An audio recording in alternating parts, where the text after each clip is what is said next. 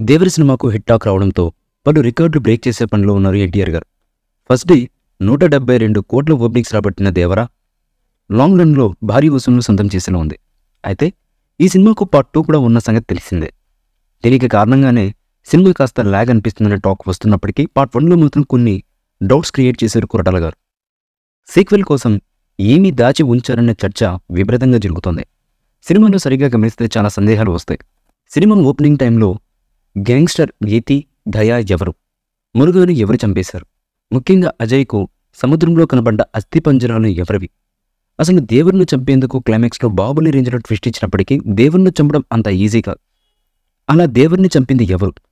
దేవర సంద్రం ఎక్కి పన్నెండేళ్ళు అవుతుంది కానీ చనిపోయినట్టు చూపించారు. మరి దేవర బతికే ఉన్నాడా? ఉంటే కొడుకు వర ఎందుకు భయపడుతూ భయపెడుతున్నాడు? భైరాకి దేవర లేడని తెలిసిన తర్వాత ఏం జరుగుతుంది? వరను ఏం చేస్తారు?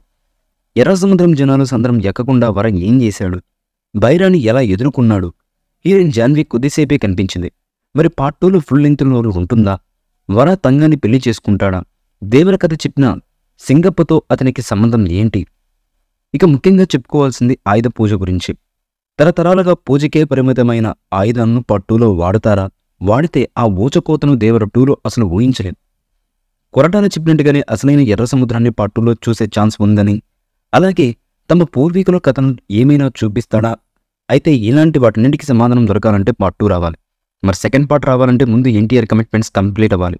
అంటే వార్ టూ ప్రశాంత్ నీల్ సినిమాలు అయ్యాకనే దేవర టూ ఉంటుంది. మరి కొరటాల ఏం చేస్తారో చూడాలి మరి.